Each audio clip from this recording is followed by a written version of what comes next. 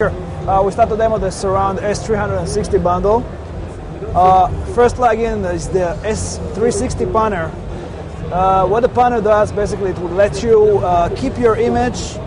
Um, I'll just play with the with Waves a, with, S360 degrees panner and imager regard surround as a soundstage that surrounds the So basically, you're spreading the mono into a few a few more channels, and when you do the rotation, Waves S360 degrees panner and imager regard surround as a soundstage that surrounds the the stereo image is being kept stereo or any uh, panoramic uh, width that you open basically is being kept open and um, Waves S360 degrees panner and imager regard surround as a soundstage that surrounds the listener.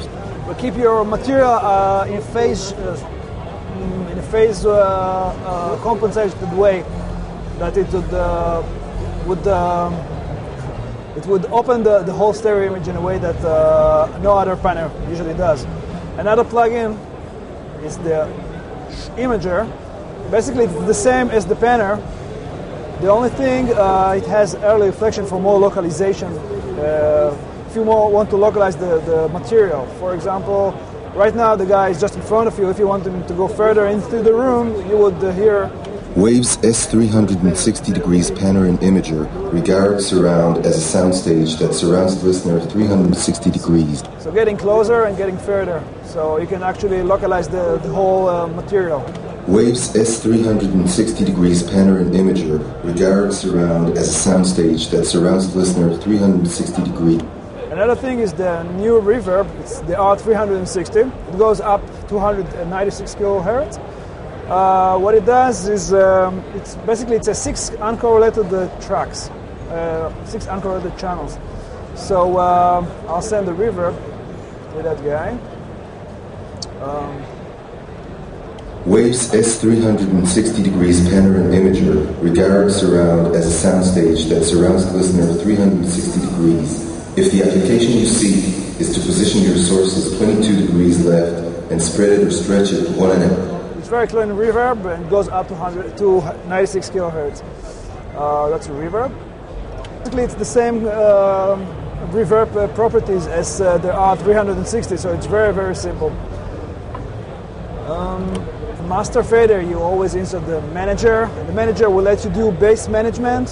Uh, here's the bass management. So let me just take out the voice here. So that's the material. I'll load the bass management setup.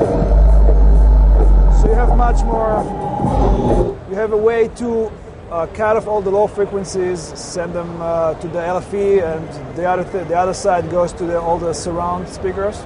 So uh, you can mix additional tracks back to the LFE. So that's the manager. Will let you uh, adjust if your studio is not ITU compliant. What does it mean ITU uh, compliant? center has to be in a certain way, it has to be a round thing, so you can compensate. If, for example, your speakers, the surround speakers, are not exactly 110 degrees, you can set it up to compensate to any problem you have in your own studio. You can also do any other manipulation on any other track, uh, like uh, soloing, muting, uh, phase reversal, gain, delay. Um, you can also compensate the center and the surrounds for any other problems you have. Uh, usually at the end of the mix, we can fold out the mix, the 5.1 mix, to anything that we want. For example, now it's 5.1 mix. Can go to mono, so 5.1. This is the mono version. Stereo version.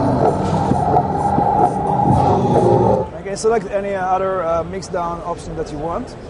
The whole uh, surround plugins, uh, we are shipping the C360 and L360 which they are basically similar. The C360 is a soft knee compressor, the L360 is uh, hard knee. Um, basically, the L360 built after the L2, and what it does, it uh, basically basically gives you uh, a way to link uh, speakers. So you can spe- uh, link the, the rear speakers now and just boost the rear speakers. So now we're going to hear more volume from behind.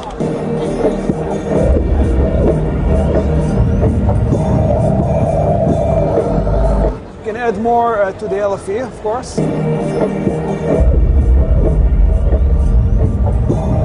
Well, limit anything that you want. You can link the whole thing together as well, or just work with the threshold or just the out ceiling to determine that your mix is not going to pass certain levels.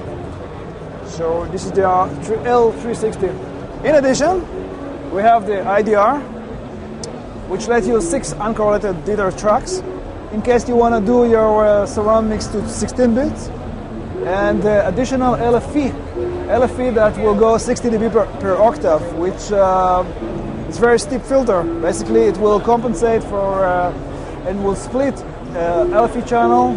You can uh, insert it instead of the bass management in the manager.